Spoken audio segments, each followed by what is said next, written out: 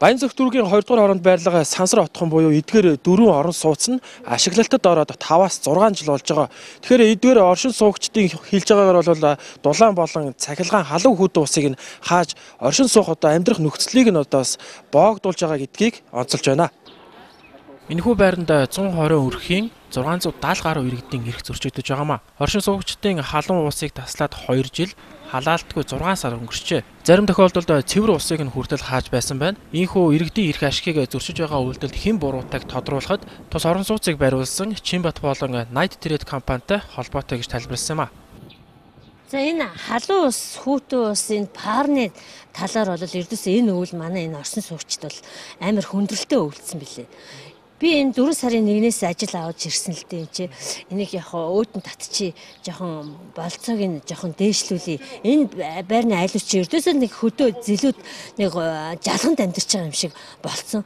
А тийм ч өөрөө төлөөгүй, тийм ч өртөө тэгч тэгсэн ингэсэн гэл бүр тэр битгийл хүүтэн усаар нь ч хүртэл хязгаарладаг. Энэ энэ ингэж болохгүй суугчд бол үнэхээр хохирж байгаа. Энэ үйл энэ ердөөсөө пар халаагүй зөвхөн амьтаа өвлцсөн байгаа. Энэхүү дөрвөн блок байраа 2009 онд ашиглалтад орж байсан. Харин оршин суугчид ийхүү хүнд нөхцөлд амьдарсаар байна. Гэтэл орон сууц нийтийн аж ахуй удирдах газрын хүүт хоёр буюу хэрэглэгчдэд үйлчлэх төвөөс төлбөрөө төлсөн тохиолдолд хязгаарлалтыг зогсооно гэж мэдгдлээ. Энэ хугацаанд оршин суугчид ямар арга хэмжээ авах учраа олохгүй байсаар байна. Өвлжөнгөө намраас хойш юус халуун ус байхгүй халаалтын хаагаа ичдэг. Тэгээд амьдтай үнэхээр хэцүү. Тог мог хаяа таслаа ичдэг.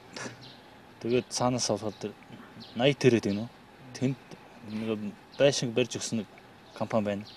Тэд нэр маш өөртөө гинөө. Тэрнээс болоод бидний халаал мулаалт бүх юм хаагаачдаг.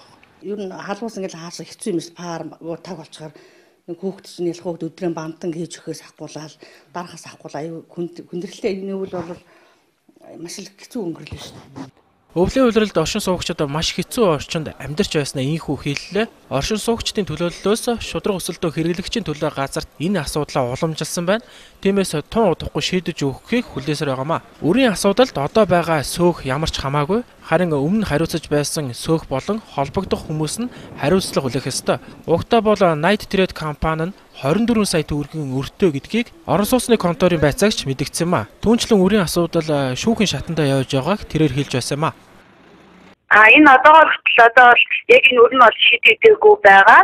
А энэ болохоор яаж юм бол одоо өөрөө удаа дараалж шүүхээ бол хойшлуулад тэг хамгийн сүүлийн хурал нь болохоор 4 сарын 30-ны өдөр хурал үүсэх хуралтай байх хэрэгтэй. Тэгээд тэгсэн чинь 6 сарын 1-ний хүртэл бас муу ялгаагүй хойшлуулсан байгаа.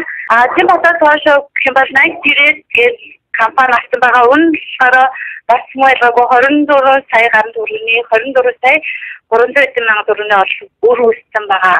Энэ нэг өөрөө үүссэн байгаа тэр өрийн даруусныхаа дараа ерөнхийдөө олдуулааны нь олныг боломжтой байгаа. Энэ бол Шүүхэн шатанда өрийн асуудлыг хэрхэн шийдэх нь тодорхой болох юм. Харин шүүх хурал өнгөрсөн сард болох байсан ч эх 6 сард болохоор хойшлогдчихэ. Тиймээс өрийн асуудал цэгцрэх хүртэл оршин суугчид халуун хүүтэн усаа хязгаарлуусаар байх нь.